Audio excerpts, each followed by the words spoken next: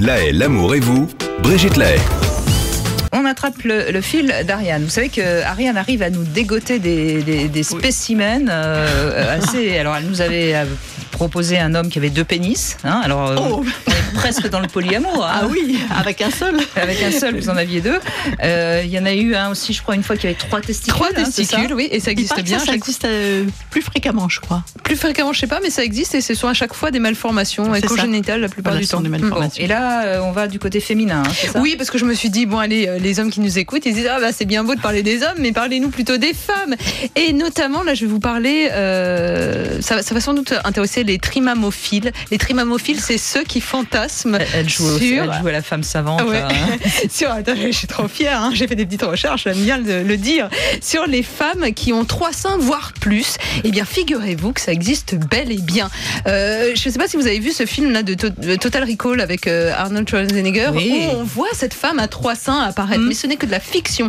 Et en réalité, ça existe. Et j'ai appelé euh, Xavier Latouche, un chirurgien esthétique, qui m'a dit que oui, ça existe, euh, qu'il y a pas mal de femmes, plus nombreuses euh, qu'on ne peut l'imaginer, qui se présentent avec un sein euh, surnuméraire.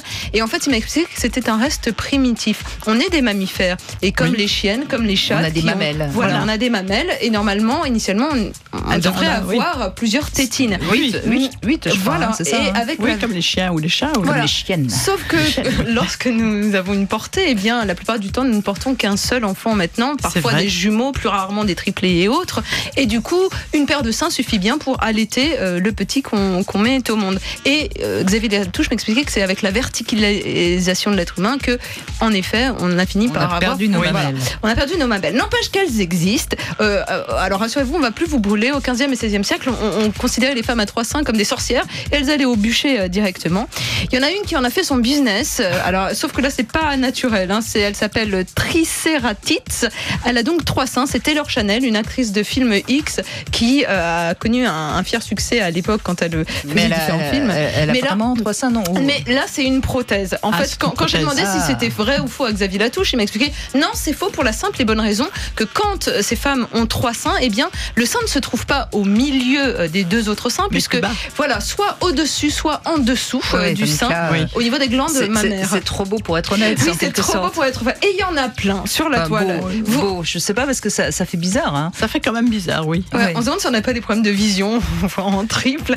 Mais sur, sur De Internet, toute façon, vous les, les hommes hein. n'ont les hommes n'ont que deux mains, donc c'est pas la peine d'avoir trois seins. Ouais, ils ont deux pieds il faut, aussi. il faut avoir trois hommes. Ça serait formidable. Non, mais il y en a plein hein, comme ça, des photos. Vous envoyez, vous allez sur rmc.fr. J'en ai mis pas mal en, ligne. Il y a aussi cette actrice américaine, Bette Davis, où on voit une photo d'elle. Ça date des années 60, euh, en fin de carrière, avec trois seins. Est-ce que c'est extrait d'un film? Est-ce que c'est vraiment elle nue à l'état naturel? On ne sait pas. Il y a plein de légendes aussi. À Rome, il y a la déesse Frascati. On en a fait même euh, un, gâteau où euh, il y a la déesse de l'abondance qui est représentée sous forme de miel et de farine avec trois seins. Et pourquoi trois seins? Parce que normalement, là-bas, à Rome, on, a, on allaitait non pas les enfants avec deux seins, avec du lait, mais il fallait un troisième sein pour les nourrir avec du vin, pour être en bonne santé. Il y a plein d'anecdotes très très amusantes quand on commence à s'intéresser au sujet. Allez-y sur rmc.fr, j'en ai mis Elles sont quelques-unes. assez étonnantes ces photos, hein, C'est étonnant, oui. Des femmes Je à ne trois trouve pas ça très, très beau d'ailleurs, mais c'est étonnant. Ouais, alors la plupart du temps, euh, le, le troisième sein se trouve, me dit-on, sous euh, l'aisselle, euh, plutôt qu'au milieu des deux seins, encore une fois, où là c'est la plupart du temps artificiel. C'est une prothèse en fait. Bon, et ben. On va se contenter de nos deux seins, Oui, mais à, trois, euh, ça fait six. Hein, euh. Et, je vous promets la semaine prochaine, sein se vouer?